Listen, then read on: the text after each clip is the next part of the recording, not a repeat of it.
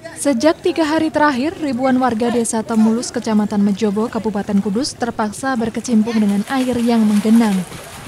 Banjir belum menunjukkan tanda-tanda surut meski sudah terjadi selama tiga hari.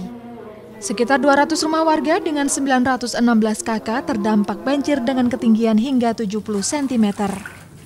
Selain merendam rumah warga, banjir juga merendam puluhan hektar sawah padi yang terancam puso. Semoga cukup segini aja, ndak seperti tahun-tahun yang dulu sampai lari semua, sampai ngungsi semua dari rumah.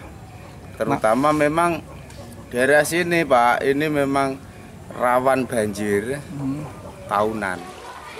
Tak hanya di permukiman warga, sekolah dasar di Desa Jatiwetan juga turut terendam banjir. Meski kegiatan belajar mengajar terganggu, pihak sekolah masih menunggu instruksi dari dinas untuk diliburkan atau gabung dengan sekolah lain. Kami berharap masyarakat bisa kita kondisikan untuk di tempat pengungsian sehingga untuk menjaga kesehatan terkontrol.